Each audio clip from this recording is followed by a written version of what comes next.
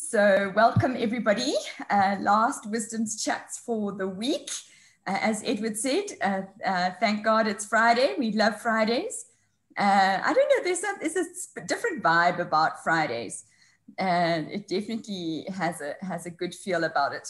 Um, and, uh, but today we actually are talking about an, a serious and an important topic uh, about the haves and the have nots, those who are privileged and those who have not been brought up with privilege.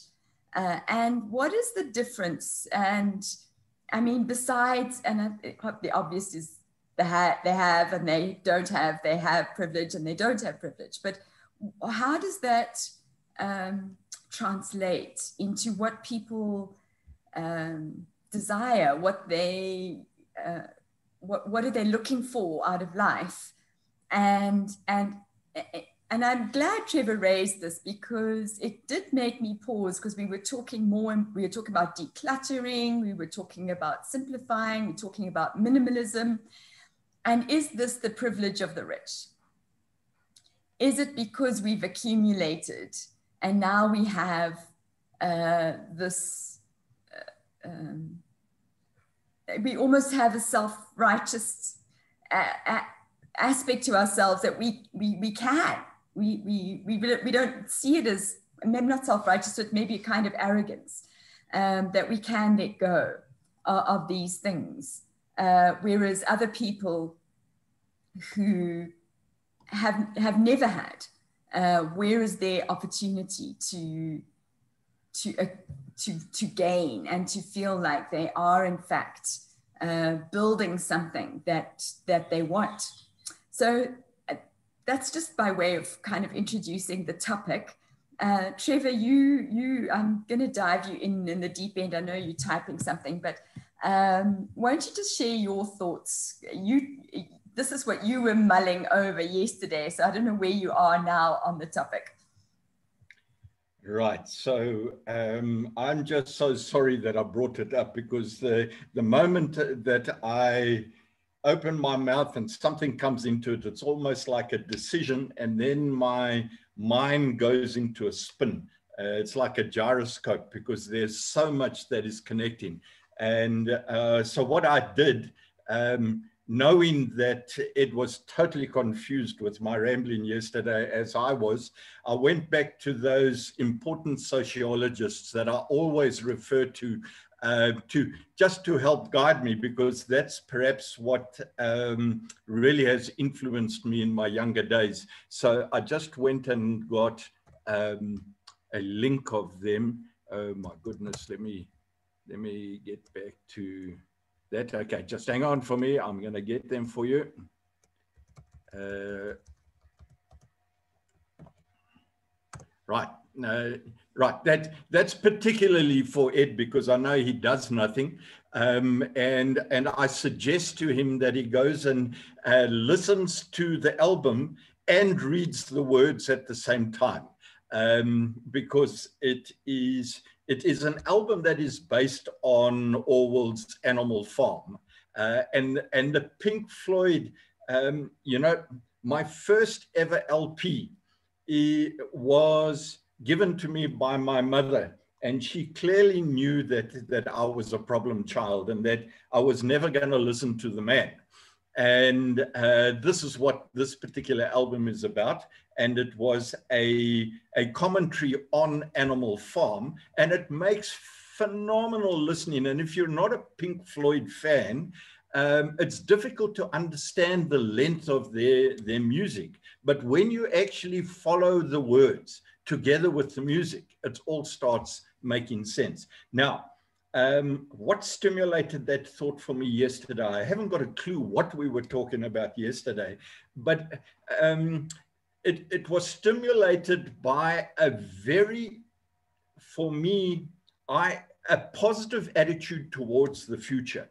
I just think this world right now is so full of promise and so full of opportunity um, that I'm starting to notice that there is less and less focus on those that are impoverished um, those that, you know, you think of Syria, you think of the immigrants, you think of those where this, our screens used to be full of these, these people um, who have nothing and they are desperate and, and we know they're all over the world. But there seems to be a focus at the moment on um, uh, individuals um, who are making uh, you know, big things are happening. So perhaps it's me that I'm finding a huge amount of my time and the input that I'm getting in is based on people who are doing fantastic things at this time of crisis. Uh, and for some reason, I opened my mouth and said something about privilege versus non-privilege, um, those that don't have privilege. And, and really it was a taking me back to my time uh, as a youngster where I was basically living on the beach with nothing. Um, and it was the most phenomenal time of my life. Uh, and here I am sitting now, just heading up closer and closer to 70. Um, that's very much like being at Polly Shortts, um, uh, close to the end of the comrades. Uh, Ed, uh, you can get the you can get the feeling. And and as I'm stripping all these books, not of my making, I wouldn't strip them at all. My wife is forcing me to strip all these books, but really it is about at this time of our lives, we're turning around and saying, okay, let's simplify, simplify, simplify. And I was thinking about these folks who are just down the road in various townships who, who are living in struggle and survival. They are all different people. And what is motivating and, and driving them? Um, maybe they're looking at these homes and these books and, and this roof over our heads and saying, man, that's all I want. Because that was perhaps what I was thinking back in the days of the beach. Hey, I just wanted to get a nice home. Uh, I didn't think I wanted to get married. My wife sorted that one out for me at the time.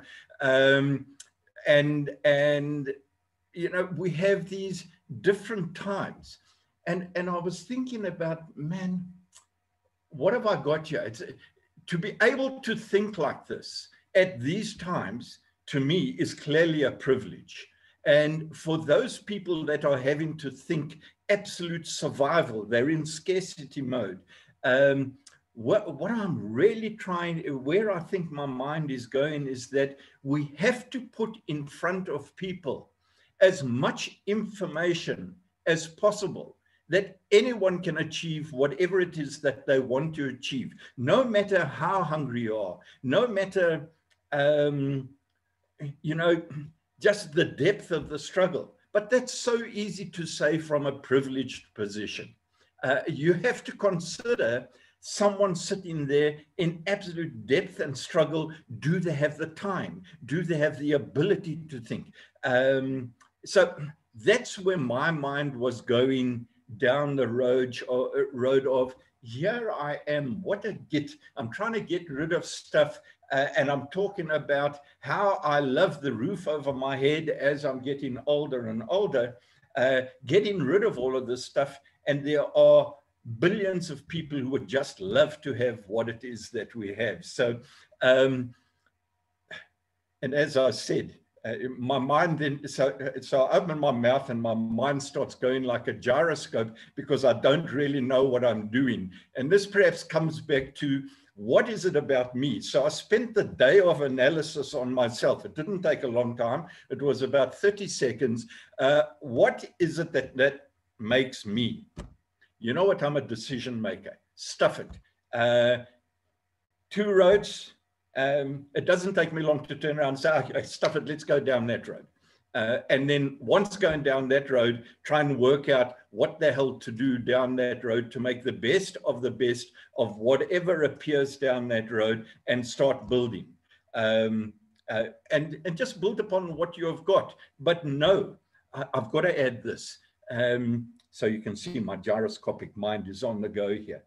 I look out over society. 50 years ago, uh, you know, I wasn't the biggest guy in town, um, but I also wasn't the smallest guy in town. I now look out over society. Um, and instead of weak people and fat people and um, that I used to see 50 years ago, I see so many healthy people. I, I see, see people that are well built. Um, I, I just see so many more people that seem to be looking after themselves and that it, it looks like a far better society than I have ever seen. Now, is this because my eyes are completely different 50 years later because of the privileged situation I have versus sitting in a struggle situation where you only see what is around you? Um, my gyroscope is spinning. Help me, Lee. Good questions, Trevor. Good questions. And uh, yeah, thank you for, I mean, that's, I do feel like it's wisdom. You sit here, it's wisdom. Thanks. Thanks, Trevor. Uh, yeah, well, I'm, what? I'm, I'm, I'm pleased that you can make something of it because I haven't got a clue. I go back to the Pink Floyd and the Moody Blues and the Rolling Stones and uh, try and get them as as revolutionary sociologists. Uh, I think they saw it all 50 years ago. Well, and I actually thought you were going to talk about Phineas Ferb. So, um, also very, very wise sociologists. Sorry about the bird noise. Jasper, your take on haves and have nots and privilege and not privilege. Morning, everybody. Yes. Um, I think the first thing that came up when one says the word have and have nots uh, how do you define have nots? Because that's subjective. And um, so for a starting point, one can say, all right, those who struggle to have their basic needs met. But then it says, okay, what is, what is considered basic needs? Because for uh, us privileged people is a, a, house in a good suburb with, uh, you know, good school and all of those kind of things. Whereas for another person, it's just basic shelter. Um, so, so until one sort out a, a, universal accepted definition of basic needs, uh, it's very subjective, this whole thing of haves and have-nots. Um, so we're literally talking back to that Maslow's hierarchy. Um, and uh, then I'm thinking of, I'm healthy and I can, I have the use of all my uh, physical abilities, but there, uh, just hold on, someone is coming into the office. Good morning.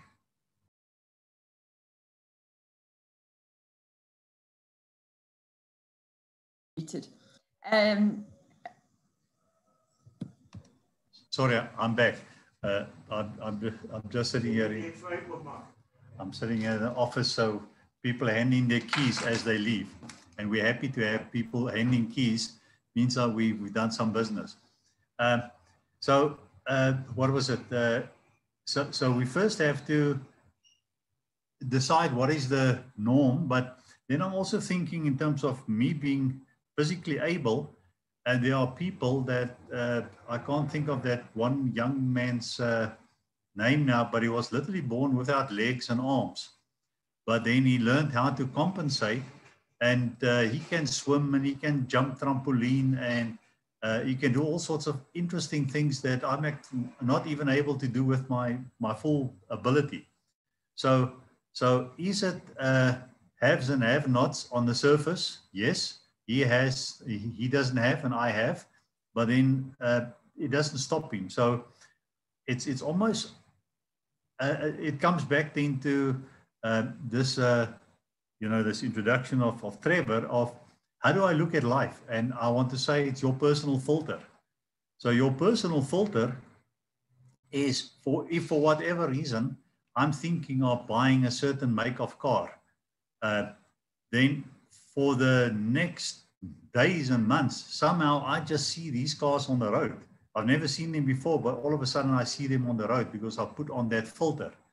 Uh, so are we seeing what we have programmed our subconscious mind to see.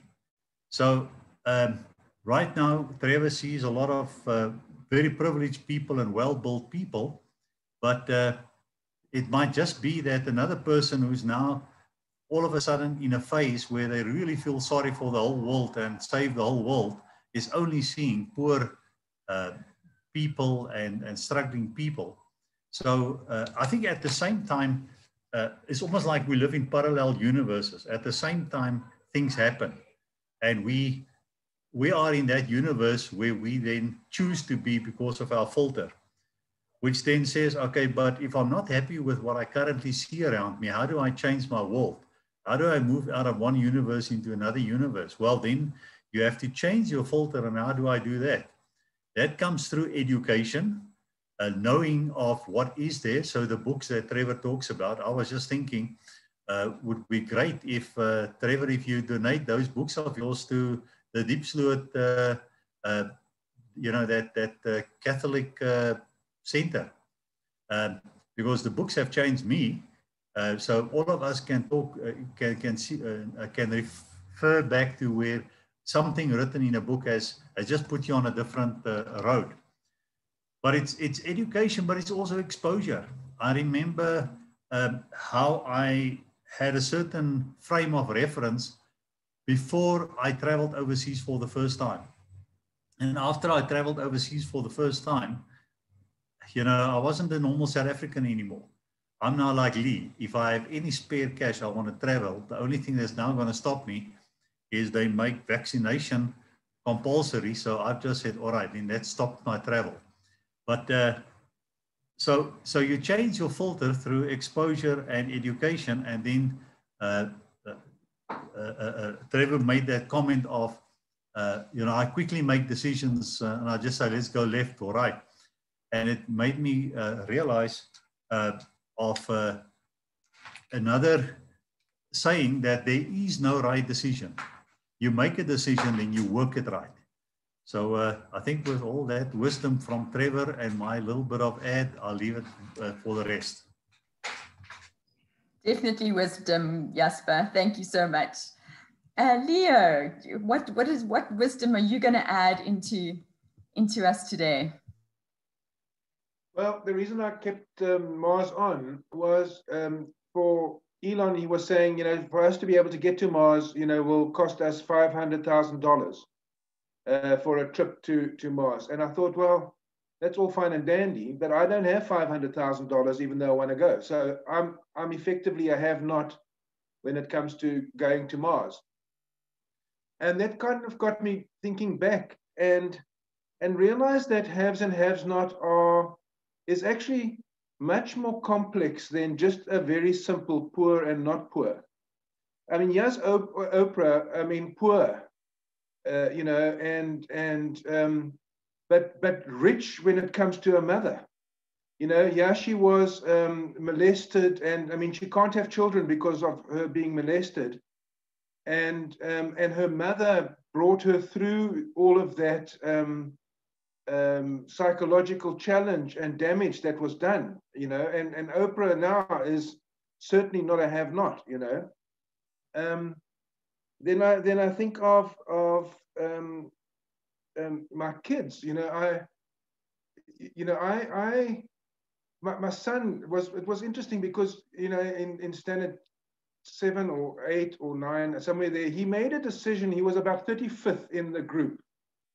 And he now wanted to be number 15. And so he worked hard and he got to 15 because now he can get a little merit badge. And then he wanted to be 10 and he finished matric at number three. So he goes to varsity back into a big pool, works hard.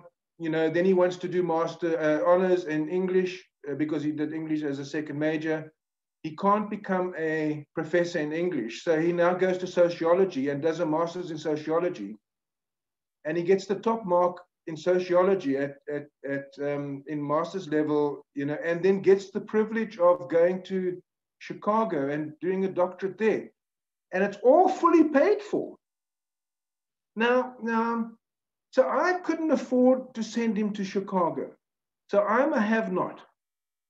But he made a he made himself a have because by his hard work um, and diligence. Now, yeah, you know, there's let's go back a, a bit more. You know, if it wasn't Denise who who took the kids, you know, clambering up mountains and and jumping off bridges and and exploring the flowers and and every sunday we went to a different place and and and talked about trees and and and built sand castles you know that probably made my kids privileged um you know and so they had a better starting point than than a lot of other people have and so i think you know i i i, I talk about you know, uh, an up dad and a down dad. You know, I had a down dad, you know, and, and, and I've shared this a little bit with you, and it's not a dad, but nevertheless, um, you know, psychologically, I, I struggled through life because I could never do anything right. That's what I believed, you know, and it took one man three months to change this. I mean, what, what I mean, what I'm busy with now, I could never have done five years ago. And I'm thinking haves and haves nots, you know. So I think there's a real challenge. And of course, you know, we have taken away, you know, in, in apartheid, we took away opportunities from people. And and for that we we should make huge amends you know. Uh, we prevented people going to the right schools and having good teachers and and they had to live there and they weren't allowed to be on beaches and and and you know we did that. I mean i didn't do that personally but you know and and you know what? If we can make a contribution now to help people through education um, to expose them to possibilities that that they might never have dreamed of before. And I'm not talking about Mars levels of 500,000 Rand going to Mars, uh, dollars going to Mars. I'm talking about little opportunities like you doing, you know, you guys at Wisdom are doing, you know, one dollar a month to, to have access to an education self-development program. Where the hell do you hear of such a thing? You know, and I think you guys are going to make a huge impact by that look. You know, it's not even a little product, it's an, an, a massive product that will, you know, and now, of course, we need to get alongside them and help them read because some can't read, you know, um, and help them gain the wisdom over the years. Uh, you know, and and I want to see chats like this with people going through the, that program. You know, um, and saying, well, what did you learn today out of chapter one? You know, um, yeah, if I can, if I can be part of making that happen in some small way, you know, because then three years from now, they will be in a much better space. It took me 63 years to be in a much better space. You know, now praise the Lord that I'm in a much better space, you know, and and and we can do things that that that we all participating in. And so, so haves and haves nots are very, very, um, uh, it's complex, you know, um, and I am privileged. I can eat, you know, I am privileged. I, I could go down and lock down with dad, because, but, but that was because I took some money and I didn't spend it. I invested it in a house. I tiled the floor myself. I got sore knees, you know, but now I could rent out that space. So, so you know, um, it, it, wasn't given to me. It was also worked for, you know. So it's a challenge. But yeah, thank you. That's my contribution. Thanks, Leo. Yeah, just you know, have all the different dynamics and and the personal story that also comes in, and um, so it definitely adds to the richness of the of you say the contribution. Uh, so Edward, I'm sorry we've missed Alessio. I, if I, I, I feel bad I didn't let him speak, but um, I'm glad, Edward, that we can hear from you. Thank you. Yeah, I think I mentioned before, every evening I make some notes about what I'm going to say. And then in the morning, I don't understand them. Um, and, and last night I wrote down swamp, balloon, and clover. And I looked at them this morning and I thought, what on earth was that about? And then I picked up my coffee, and after that hit of whatever, it, it, it all fell into place.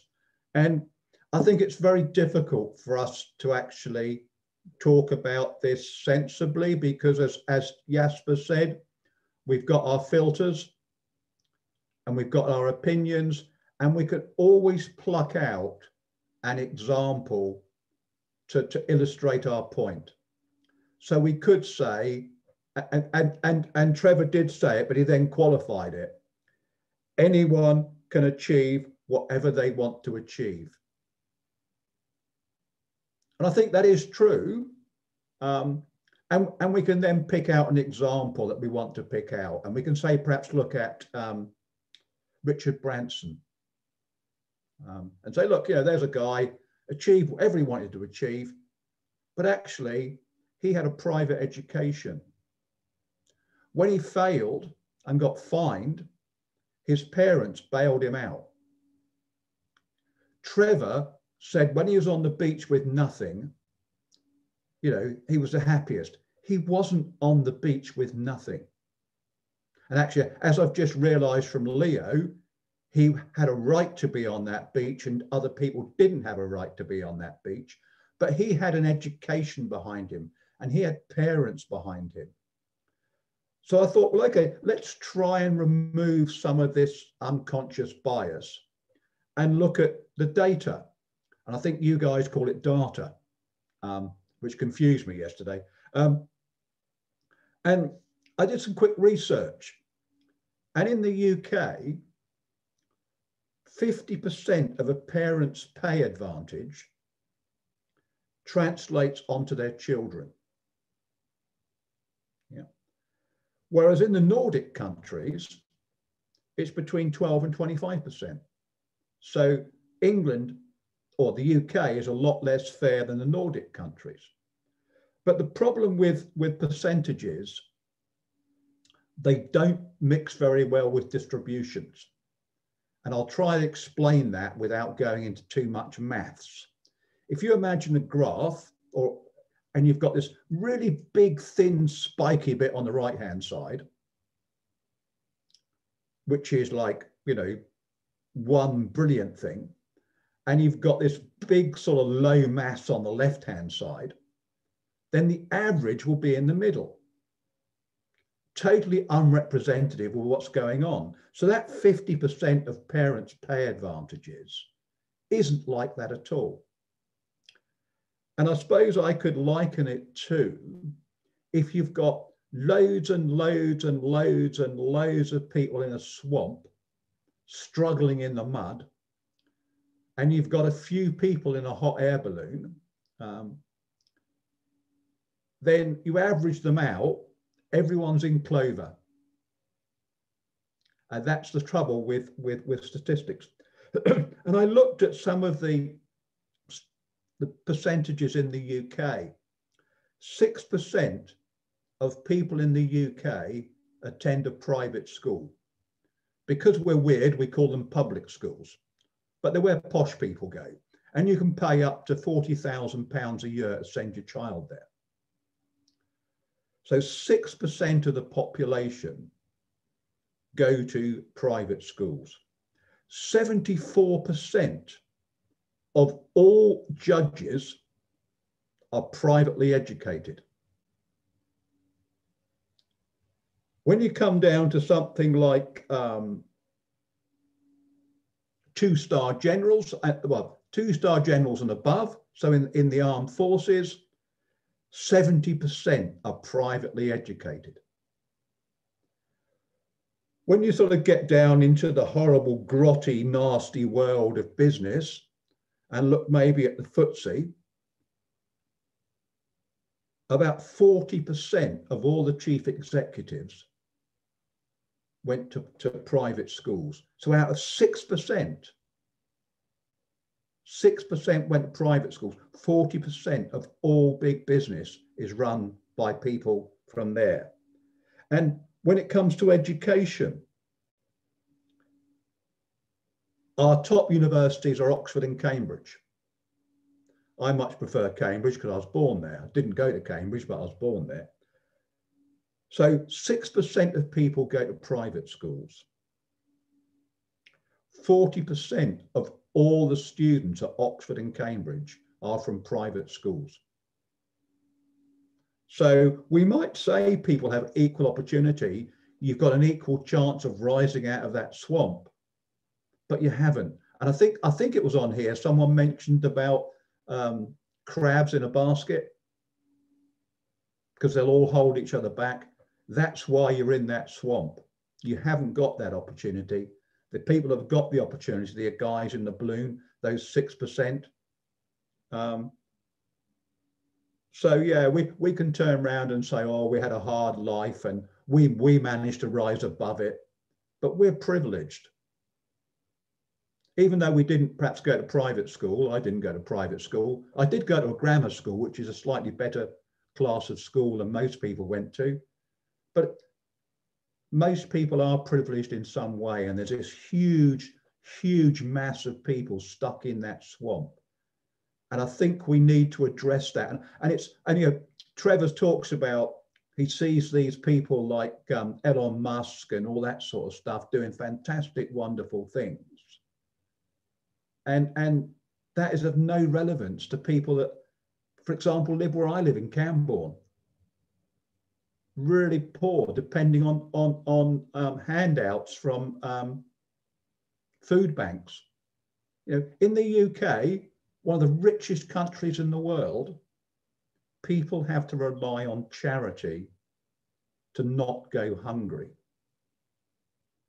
So I think you know it's very difficult for us to describe the haves and have-nots because we are firmly in the haves we have privilege, we have education, we have the support of our parents, whether that's good support or bad support, we still have that support of our parents. We have history, we have opportunity. Um, so that's why I'm so passionate about um, that. And then you, you add into that other things. I, I was on a, on a meeting yesterday and we were talking about the complaints procedure. And someone was saying, should it be a two-stage complaints procedure and a three-stage complaints procedure, all that sort of stuff. I said, look, you're talking about the process. You're not talking about people. I said, I've got this friend who's got Asperger's and she made a complaint and it overwhelmed her life because of her condition. And someone else on the call said, I'm so glad you said that, Edward, because I've got Asperger's and I made a complaint. I dropped it because I couldn't cope with it. And then someone else on the call and there were only eight of us on the call, said, I'm so glad you raised that, Edward, because I've got OCD and um, what's it called? Excessive anxiety disorder. And it just ruined my, my life making a complaint. So some things we take for granted, other people, because they've got conditions, aren't the same. So we are, us people sitting here, are really privileged. and then when you think of the Elon Musks and the and the, the Jeff Bezos and all that sort of stuff, they are the super privileged. And the rest of us, the rest of the population is stuck in that swamp. So that's my thoughts. And uh, sorry for banging on a bit, but yeah, uh, Trevor's right. I have got the Oxford Dictionary. It's amazing he pays attention to that sort of thing.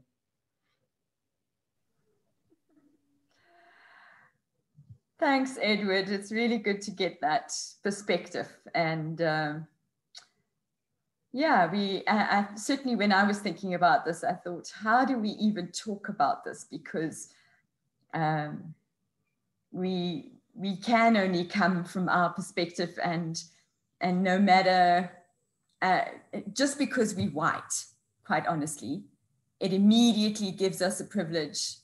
Um, pretty much worldwide uh, that I don't think we we fully realize. We don't fully realize. Um, so so that's just one thing that I throw in. But uh, the thing that I wanted just to end off with, which is from my perspective, is um, we, this idea of what do we want if we've come from a place of not having.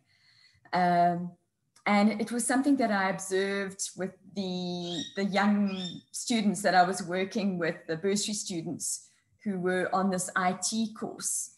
Uh, and they'd come from these very rural, very, um, you know, very poor environments.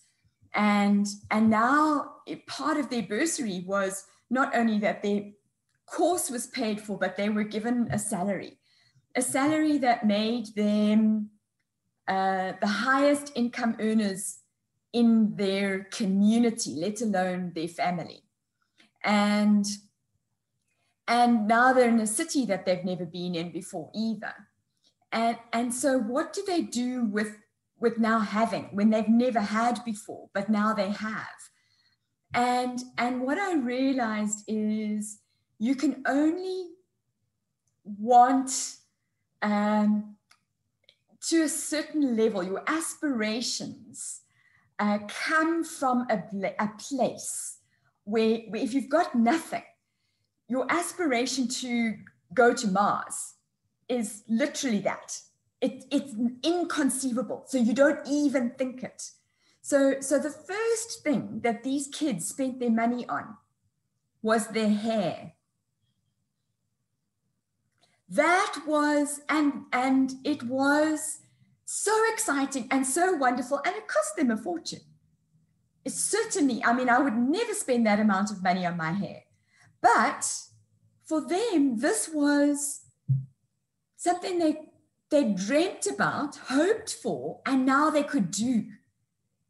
Um, the idea of owning a house or a car or going overseas, that, that wasn't even in their mindset until they got the hairdo. And then the next thing was a cell phone to have an upgraded cell phone. And then the next thing was a, a pair of shoes.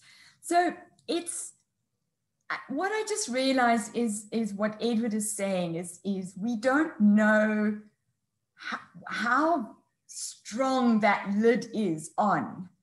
Um, because, and when that lid is lifted, even quite significantly, very hard to see further than just the few steps in front of you.